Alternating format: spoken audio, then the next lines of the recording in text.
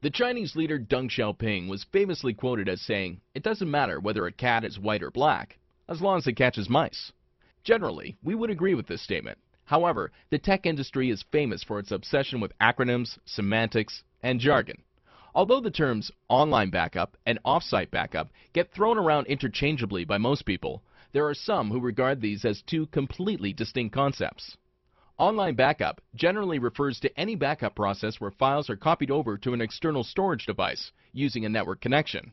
Online backup is different than traditional methods, such as tape, DVD, or external hard drives, where manual handling is required to move the backup data away from the primary computer. Many people assume that online backups automatically refer to the cloud, or these must be explicitly performed over an internal connection. However, online or network backups can also be performed over an internet connection. However, online or network backups can also be performed on an internal network from one machine to another without requiring access to the external internet. Offsite backup generally refers to backups that are kept far away from the physical location of the primary machine. Offsite backups do not necessarily need to be performed over a network. If you copy your data over to an external hard drive, and then take this hard drive to another building for storage, this would also be considered off-site backup. Off-site backups can be performed without a network connection, as would be required with online backups.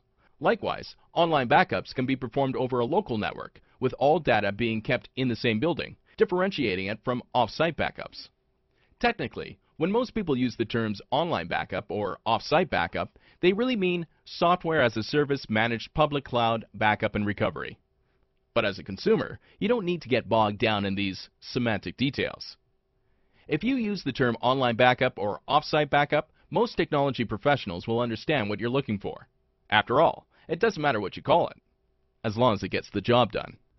If you have any comments on this video, we'd love to hear your feedback in the comment section. And if you enjoyed this video, please like, share, and subscribe.